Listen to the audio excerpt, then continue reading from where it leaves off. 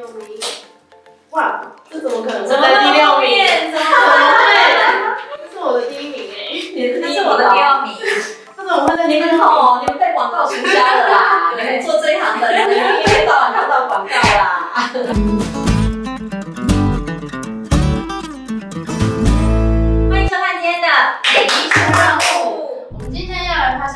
过年最热门的疗程，你最喜欢做哪一种疗程呢？我们今天邀请到了知名的皮肤专科医师廖月丽医师来为我们解答。那我们看一下，大家好，我是廖月丽医师。医师有提供给我们这些是目前许多民众会非常喜欢做的时尚疗程。那我们两位呢会先来猜一下医师的榜单。那先给我们个五分钟的时间，让我们猜测一下。猜题开始。对，A few moments later. 建议大家猜猜看哦，皮肤问题盛行率最高的，如果以二十到三十来讲的话，皮肤问题最多的大概会是什么问题？痘痘，第二，痘痘毛孔，所以阴冷哎哈，两瓶打波把痘痘毛孔写在第一个的话哈，两个手掌心伸出来，他盖起。没有哎，怎么办？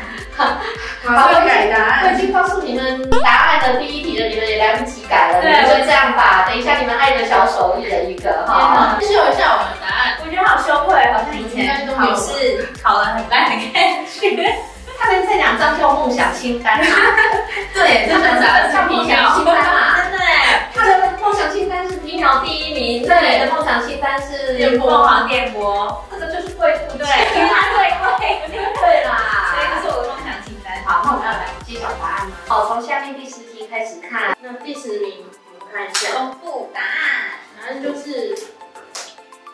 光治疗。动力光治疗是照了以后那些痤疮杆菌会死掉啊，因为以前光照到皮肤的时候吸收力没有那么好的时候，它的反应就不是很好。现在借由那个药以后，就变得很精准，渗透到有粉刺的毛孔或是有痘痘的毛孔，然后光一照的时候就集中对准了那些痘痘，所以这个应该叫做痘痘标靶治疗。那我们是叫做标靶光痘治疗，换句话说就是标靶治疗把你的痘痘治光光啊。平常听到标靶治疗都是在癌症，其实标靶治疗或是精准治疗是未来医学的趋势。无论是不是癌症，只要你有真的很精准的对症下药，你都可以算是一种精准治疗或是标靶治疗。那以前我们在擦痘痘药是全脸擦，那现在呢，在治疗这个的时候呢，你可以针对痘痘很明显的改善它。如果有痘痘问题的人哦，你要记得哦，痘痘你要把它当成病，不要把它当成是青春期自然现象。你再自然下去，你就长疤了。好，第九名，第九名，哎，你的第九名是我的是标靶光豆。啊，你的第九名我的是杏仁酸，哦，杏仁酸。哎杏仁酸哈是一个蛮好的医美护肤疗程。医美护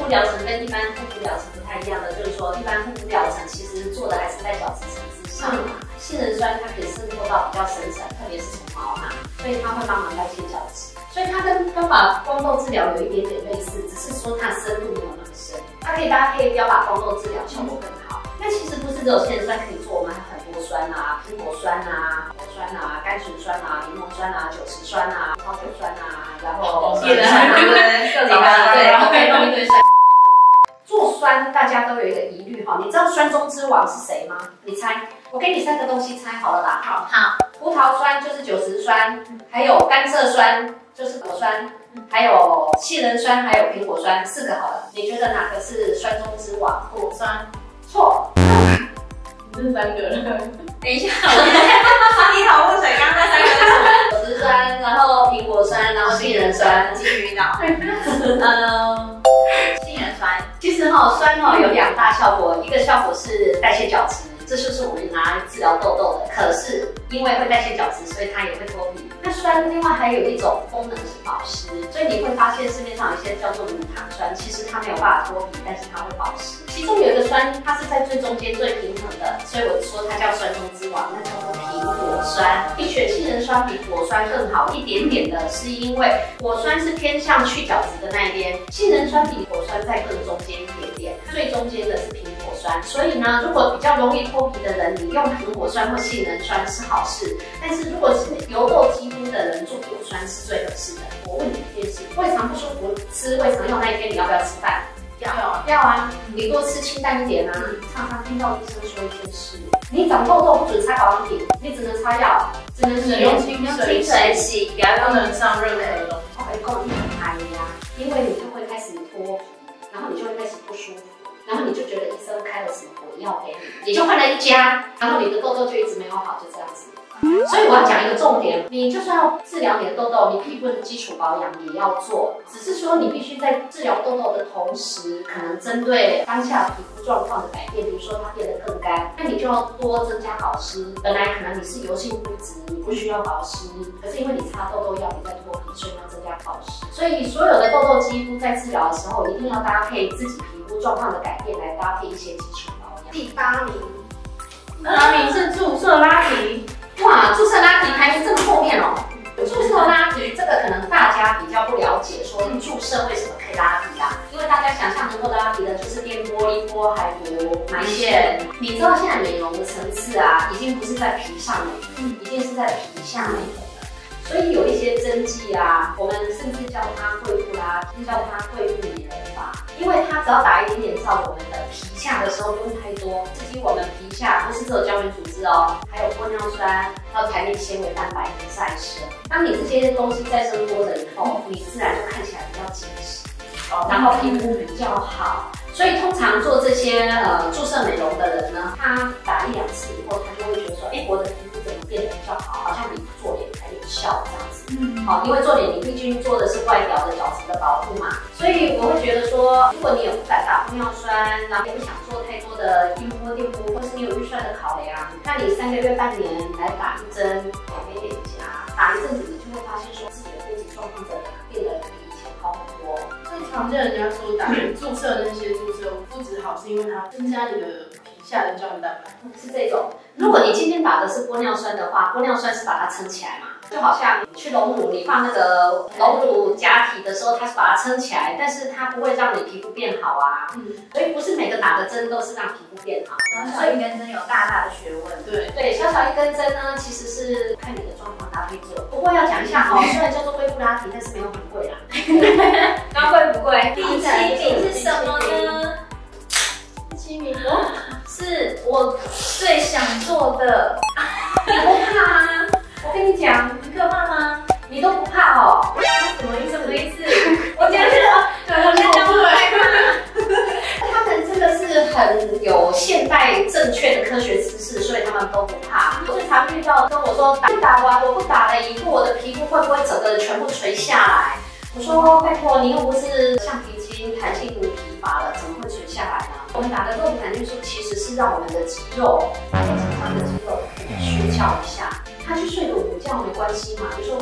我今天眨眼一天要打一百次，我一年要打三万六千五百次。可是我如果打了肉毒杆菌素，他去睡觉睡半年，他是不是少掉了一万八千次？就数学好好。你看到一张纸折三万次，跟一张纸折一万八千次，哪一个折痕会比较深？三万次的啊，所以你该不该打？我该该打，该该打的。该，因为一打你就少了一万八千次的皱褶的次数，十年下来少了八万次。比那个没打的同学，你要不要看起来比较年轻？大家不要把想错了，不是什么你打了以后你就回不去了，你打了以后就回去了，你懂吗？打了以后就回去。回去少年时代了。对，哈，这个大家要多打。第六名，哇，这怎么可能？怎么第六名？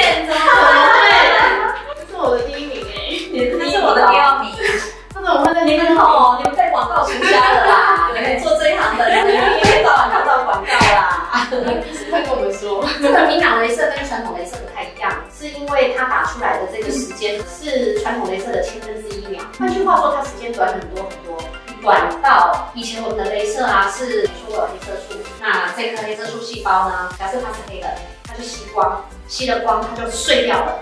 碎掉之后，我们身体的新陈代谢就把它带走。但是因为它有能量，所以呢，它碎掉的同时也产生了能量，所以可能会反黑。这个皮秒很厉害的是，它打了以后，因为时间很短，它还来不及吸光，就一震，就一个震波就把它震碎了，所以它还来不及记得反黑，它就再见。所以皮秒镭射如果打得好的时候呢，其实它基本上不容易反黑。皮秒镭射我觉得最有用、最有用、最有用的是两点。第一点是打了毛细孔真的会变小，那你说毛细孔最后会不会再变大？我只能跟你说，毛细孔是天生活的，你不要想把它医到死，医到死你完全不出油，你的脸会变成沙漠。其实毛细孔不会因为这样变不见，因为它是一个结构，但是它会变小。第二个非常非常有感的就是肤色的美白，你们两个没笑吧，因为他们两个太白了。后面那两个，摄影师用对对对对，很多人啊，你会发现他的脸比身体黑，因为他的脸呢晒太阳晒特别多，像这样子的人来打效果就特别好。他们一个疗程是三到六次嘛，有没有感觉？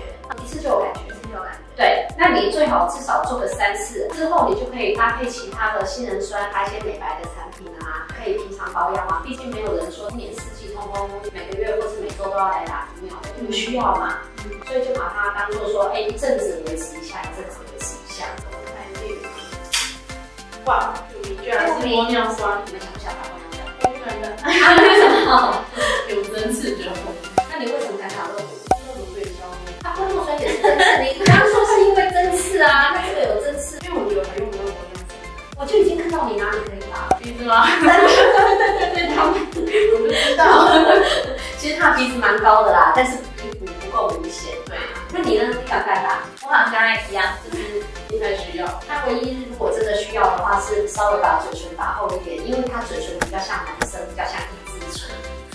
对。但讲到玻尿酸的时候，哦，大家就会有一个问了：外面有那个几千块的，啊，还有那个几万块的，为什么会有这么大的价差？差异我跟你讲，很重要的一点哦，就是你是打大中小分子。还是超大分子的玻尿酸，那这些玻尿酸都不一样。第一点是你不同的分子打的层次不一样。比如说我今天在法令纹要打，我一定要打最大分子，因为这里常常在皱褶。嗯，那我在鼻子，我一定要打那种颗粒分子，大的颗粒型分子，鼻子才会挺起来嘛。我不能打那种流质的，可是我不能在这里打看起来像精华液的东西啊。为什么呢？第一个它撑不起来，第二个它的效果可能半年就不见了。一分钱一分货，我跟你讲真的，你打的东西，如果你今天要打半年的，一万块以下的选择有很多。可是只要你要打超过一年以上的，一定差不多在一万五以上。现在玻尿酸最长的效期，一般来说呢，哈是有一点五年到两年。为什么？是一个范围。有的人因为他本身的玻尿酸酵素分解速度的关系，他可能一点五年就开始减少。那我要建议大家哈，有一个问题，你一定要记得来找我打玻尿酸，就是如果你有一点点轻微的眼袋边，不要说泪沟哦，有的人他是有一点点早期眼袋，但是又没有到开刀的程度，这时候打玻尿酸来修就好了。所以大家在选择玻尿酸的时候，做一个聪明的消费者，聪明的客人，你要知道你打的是能够持续多久，然后是适合打什么部位的，找对医生很重要，然后也是很重要。再第四题就是双眼皮、眼袋、眼尾拉皮。其实你们这个年纪，应该很多人是想要做双眼皮。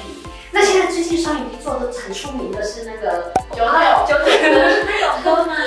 他有歌，我以为他只做眼他那个有人是说提眼睑，没有，他一定是有做双眼皮啦，因为他做完把大家给吓坏了。我相信有很多人不敢去做双眼，可是我觉得你真的不要担心，主要是这样子，男生跟女生不一样，男生的这个眉毛跟眼睛距离比较短，刚开始还在疤痕期的时候，他们说会比较厉害，所以会看起来稍微比较不自然。可是通常这个情形隔半年以后就会好很多，半年以后你就会发现更年轻、更帅的九九哥喽。至于女生朋友哈，就比较不会有这个问题。如果是超过四十岁以上，觉得眼睛下垂要割双眼皮的人，你一定要先确定一件事：你不是额头下垂。额头下垂的时候，如果你去割眼皮，其实你的眉毛跟眼睛的距离已经短了，那你再把它割掉，你就会看起来像男生。所以你会发现，很多四十岁以上的婆婆妈妈，她去做了一个双眼皮之后，她看起来怎么变凶了？哦有没有？变得比较锐利。或是说变得比较不自然，所以这个时候你第一个要做的其实是应该做前额拉提。眼袋哈，其实以前只能开刀啦。那现在如果说是四十五岁以上眼袋真的很严重的人不敢开刀，我还是会建议你开刀，因为呢，你既然眼袋开刀花一次钱就可以把它整理好，而且可以持续十年，你为什么要两三年来打一次玻尿酸？但是如果你是第一个，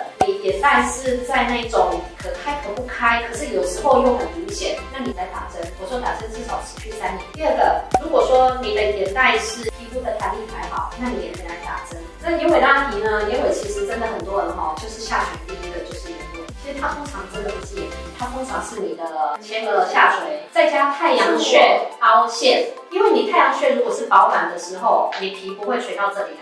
那很多人是随年纪增加松弛，再加太阳穴凹陷，所以对于眼尾拉提，我们其实哈可以做两件事啦。第一个，先把太阳穴打起来，把太阳穴打起来的时候呢，这里比较空，就会撑到这这边的眼皮。那如果你再来蛮严重的时候，我们可以先打一点点肉毒杆菌素，可以让我们的这边的肌肉比较放松，这边肌肉作用力比较大，所以也会撑一点点皮。如果再不行的时候呢，就要做眼尾的这个前额拉皮，就一步。三第三题最近很夯的埋线，我就是怕怕的，怕什么？埋线感觉就是示意图，不是都会有那个这样穿进对穿进眼皮肤，然后肉勾连筋膜底上那去你这样。那你就不要理他就好啦，他你不要看他就而且好了。会隐约觉得好像有那你你打针的时候怎么不会想说哦，那一针针穿进去，咻一下那个液体就跑出来，看起来好可怕。因为没有人会做这种模拟。其实埋线跟打针一样啊，其实我很不喜欢用埋线这个字眼，应该是叫做提升线拉提。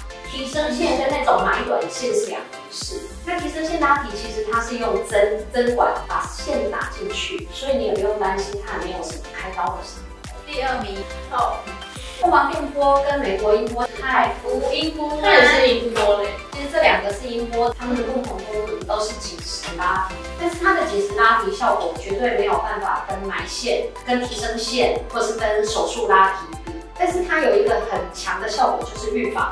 所以我常常跟我疑问的病人讲，跟我说啊，那我怎么看不出来？我就跟他说，那这样好了，你下次来我们开始打半边，打半边打五年，我都不要帮你打全年了，没有差我五年都退钱给你，没有人要啊。不敢啊。要是我，我就敢啊！半边五年没效，医生要退钱给我哎、然后五年做另外半边就好了嘛。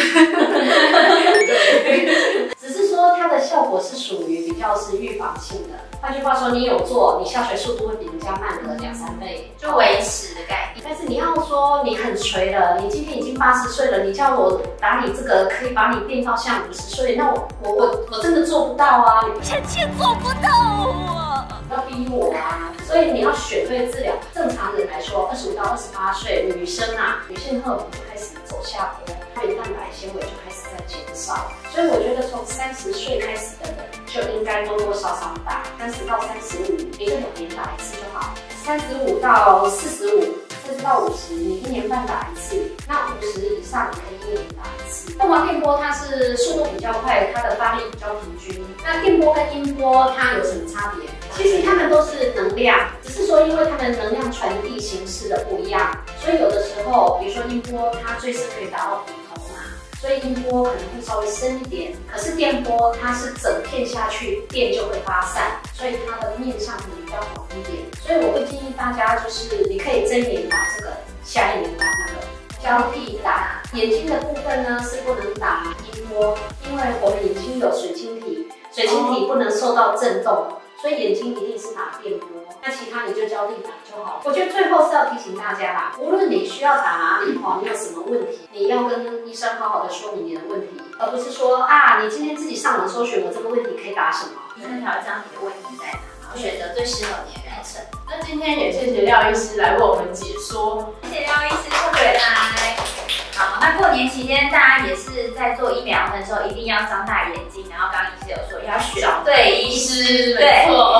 好，那我们今天的每一出任务圆满成功，拜拜。喜欢我们的影片，请按喜欢、订阅，并开启以下的小铃铛哦。